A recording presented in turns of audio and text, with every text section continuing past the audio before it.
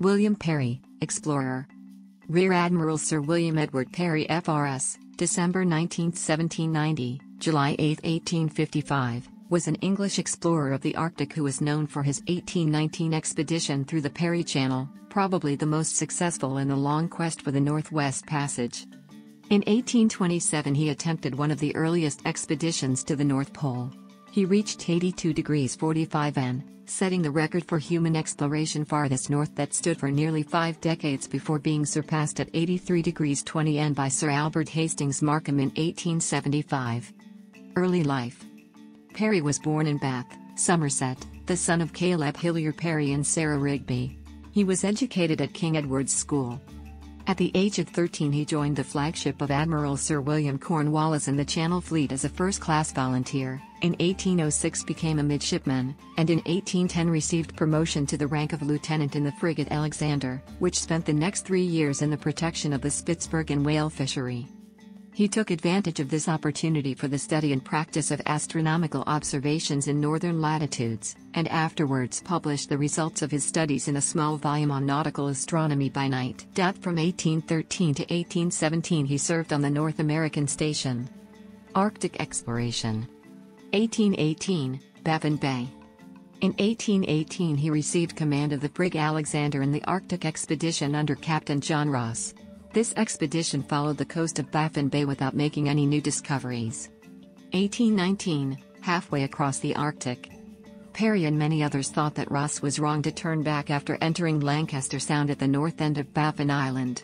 Partly as a result Parry was given command of a new expedition in HMS Hecla accompanied by the slower HMS Griper under Matthew Liddon. Others on the expedition were Edward Sabine, science officer and Frederick William Beechey. For protection from ice the ships were clad with 3-inch, 7.6 centimeters, oak, had iron plates on their bows and internal crossbeams. They also carried food in tin cans, an invention so new that there were as yet no can openers. Instead of taking Ross's easy route anti-clockwise around Baffin Bay he headed straight for Lancaster Sound. Doubt fighting his way through ice he reached Clearwater on 28 July and headed for Lancaster Sound. He passed Ross's farthest west and kept going. Blocked by heavy ice, they went south for more than 100 miles, 160 kilometers, into Prince Regent Inlet before turning back. Continuing west they passed 110 degrees west, about 600 miles, 970 kilometers, west of Lancaster Strait, which entitled them to a £5,000 award offered by Parliament. Finally blocked by ice they turned back to a place Parry called Winter Harbour on the south shore of Melville Island, somewhere near 107 or 108 degrees west. Cutting their way through new ice the ships reached anchorage on 26 September.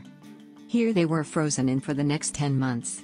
There were three months of total darkness and in the new year the temperature reached minus 54 degrees Fahrenheit, minus 48 degrees Celsius. The men were kept busy with regular exercise while the officers put on plays and produced a newspaper.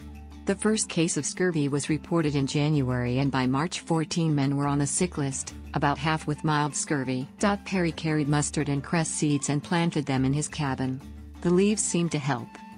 There was some excitement in early March when the first melt water appeared, but by the end of the month the ice was still 6 feet, 2 meters, thick. In June Parry led a group of men dragging a wooden car to the north shore of the island which he named Hecla and Griper Bay. It was the 1st of August before the ships were able to float out of the harbor. They got as far west as 113 degrees and 46 minutes west before turning back. It was too late in the season and new ice was already beginning to form. They reached England in October 1820 having lost only one man. Parry's voyage, which had taken him through the Parry Channel three quarters of the way across the Canadian Arctic archipelago was probably the single most productive voyage in the quest for the Northwest Passage. Luck had been on their side, 1819 was unusually ice-free and no ship was able to travel so far west until Edward Belcher's expedition in 1850. A narrative of the expedition, entitled Journal of a Voyage to Discover a Northwest Passage, appeared in 1821, publisher John Murray paying 1,000 guineas for it. Upon his return Lieutenant Parry received promotion to the rank of commander. He was elected a Fellow of the Royal Society in February 1821. 1821, west side of Foxe Basin. In April 1821 he again left for the Arctic commanding HMS Fury accompanied by HMS Hecla under George Francis Lyon. Others with him were George Fisher, Scientist and chaplain, William Hooper, purser and diarist, Lieutenants Francis Crozier and Henry Parkyns Hoppner and James Clark Ross, then a midshipman. Experience from the previous voyage led to improvements. The two vessels were nearly identical since Griper had not been able to keep up with Hecla. They had cork insulation, cork plugs for the portholes and a coal burning stove in the lowest deck to deal with condensation. The men were issued better clothing and lemon juice was stored in kegs rather than glass bottles. The goal this time was to find a passage near the northwest end of Hudson Bay. After working slowly through the ice of Hudson Strait, he headed directly west of Frozen Strait, which Christopher Middleton had found impassable in 1742. He passed Frozen Strait in a fog and found himself in Repulse Bay, which he rechecked and found landlocked. He then ran northeast and mapped the coast of the Melville Peninsula and wintered at the southeast corner of Winter Island. From the Inuit, he learned that northward the coast turned west. In March and May Lyon led two sledging expeditions into the interior. Freed from the ice in July he then went north and found the Fury and Hecla Strait, which was ice-filled. They waited for the ice to clear, but it did not. In September Lieutenant Reed trekked 100 miles, 160 kilometers, west along the strait to the ice-filled Gulf of Boothia, the north end of which Parry had approached in 1819. When new ice began to form they went a short distance southeast and wintered at Igloolik. The ship was not freed from ice until 8 August. Since it was late in the season and there were signs of scurvy, he turned for home and reached the Shetlands in mid-October 1823. During his absence, he had been promoted to post rank in November 1821, and shortly after his return he was appointed acting hydrographer of the Navy. His journal of a second voyage, and C, appeared in 1824. 1824, Loss of Fury at Prince Regent Inlet. In May 1824 he left London in the Hecla accompanied by Henry Parkyns Hoppner and the Fury. With them were Horatio Thomas Austin, James Clark Ross, and William Hooper, purser and diarist. The goal this time was Prince Regent Inlet at the west end of Baffin Island where he had been blocked by ice in 1819. It was a bad year for ice and he did not reach Lancaster Sound until 10 September. He entered Prince Regent Inlet but after 60 miles, 97 kilometers, of ice he was forced to winter at a place he called Port Bowen on the eastern shore.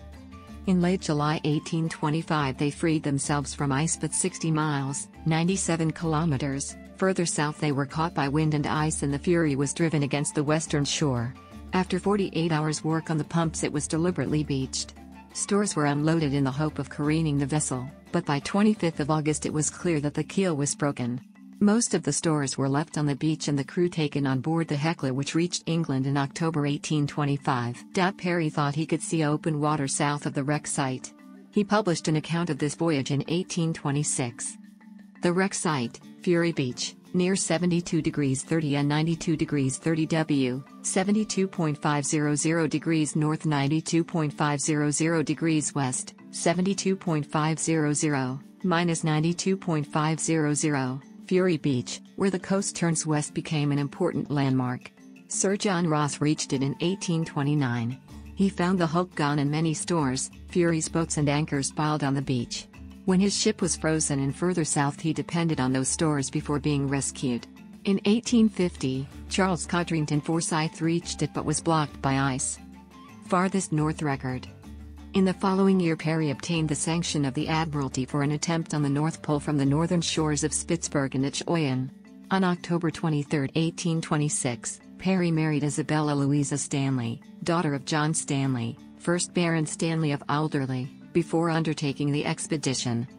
In 1827, he reached 82 degrees 45 N, which remained the highest latitude attained for the next 49 years. He published an account of this journey under the title of Narrative of the Attempt to Reach the North Pole, and see later career.